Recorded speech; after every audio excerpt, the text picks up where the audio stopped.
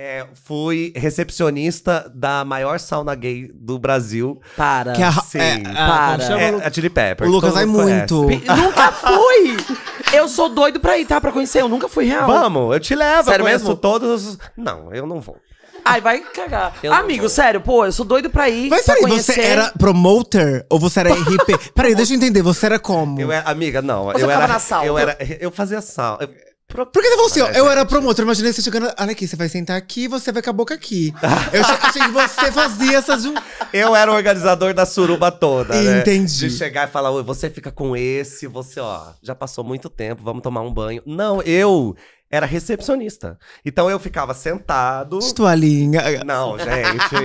É o que a gente não imagina. era programa. A gente imaginando. Infelizmente, eu não me divertia assim. Eu ficava de roupa, sentado na recepção. Aí, quem já foi, sabe como é? Que a pessoa chega, aí você tem um vidro, igual a recepção de Hotel, de motel. hotel, só que de motel, que tem o vidro.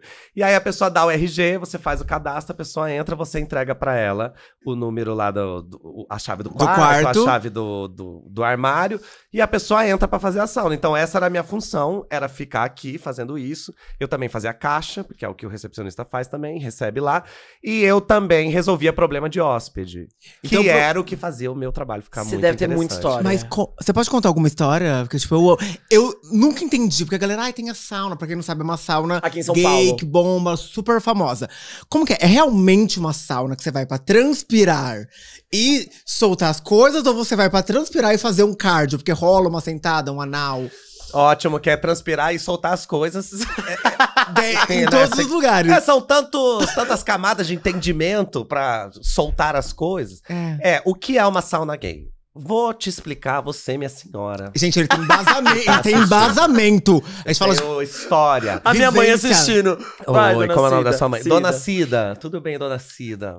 Seu filho. Ela te postou era, no né? status do WhatsApp, tá? Gente, divulgando que ia ter você. Maravilhosa. Sua mãe sabe quem eu sou? Sabe? Eu não sei, ela sabe. Ela postou no Ótimo. WhatsApp, no estado do WhatsApp. Minha mãe não é muito e ela não faz isso com todo mundo. Não. Fez no, começo do, fez no começo do podcast há um ano. Então Mas ele é Chupa nossa Marina. Senna, chupa Galisteu. ela é a nossa promotor. Aí ela falou, adoro ele. Ela só mandou isso, adoro ele. E postou no estado do WhatsApp. Então, ó, dona Cida, eu vou te explicar o que é uma sauna gay. Sauna gay é um espaço que sim precisa ter uma sauna, senão fica meio difícil você Vender ideia de sauna. justificar que é uma sauna, mas é uma sauna. Nesse caso, esse é um lugar enorme que tem duas saunas, inclusive, onde vários homens que se interessam por outros homens, é bem específico, eles entram, aí você tira a roupa toda, você fica com uma toalha, alguns não ficam nem com a toalha, você ganha um chinelinho. Alguns não ficam nem com um chinelinho. E você vai andando e você pode fazer a sauna.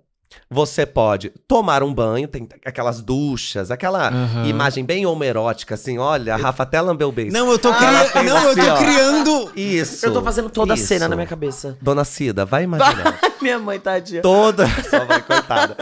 Então, assim, tem os vários chuveiros, assim, onde os homens maravilhosos ficam tomando banho um do lado do outro. Tem piscina. No caso dessa sauna, tem um espaço onde são os armários, onde as pessoas vão deixar os seus pertences. Celular é proibido, então você precisa Ah. deixar em algum lugar.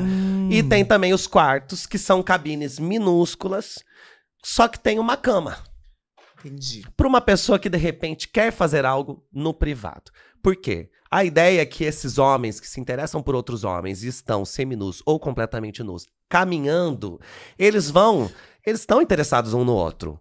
Eles já estão sem roupa. Mas rola uma música. horrorosa. Tipo, uma, música de recepção de hotel. terrível. Não, amiga, é uma música assim. Horrível. Ai, eu Mas tá entendi se é parecendo- a caixa de som abafada. Não, é a música que é ruim. Parecia Ah. a abertura de Super Espias. Aí vai entrar Abertura do quê? da Super Espias demais. Nossa, talvez eu estivesse cantando essa música mesmo, acho acho que eu não tá. percebi. Mas a música é muito ruim. E é porque a ideia é que você abstraia tudo. A música não pode chamar atenção. Eu lembro que eu trabalhei lá no carnaval e tocava marchinha de carnaval, os caras pediam pra trocar. Olha a cabeleira do Zé. Não tinha nada Ah, a ver. sério? Então é uma música. Então nada É pode atrapalhar a música interação, né?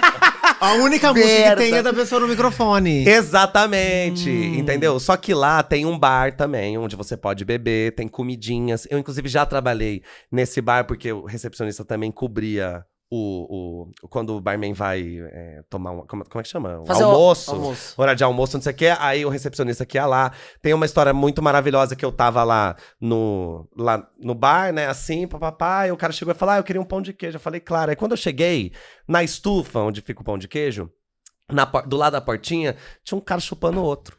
Aí, Ah, eu- em cima, aí eu, do lado do podcast. do lado, é que era um balcão, então os caras estavam encostando. Acho que eles começaram a ficar encostaram. Só que eu não conseguia abrir, porque eles estavam meio E atrapalhando. você com pão de queijo na mão tentando Não, eu, tava, eu queria pegar o pão de queijo, Uhum. aí eu encostei e fiz assim, oi, eu preciso pegar o pão de queijo.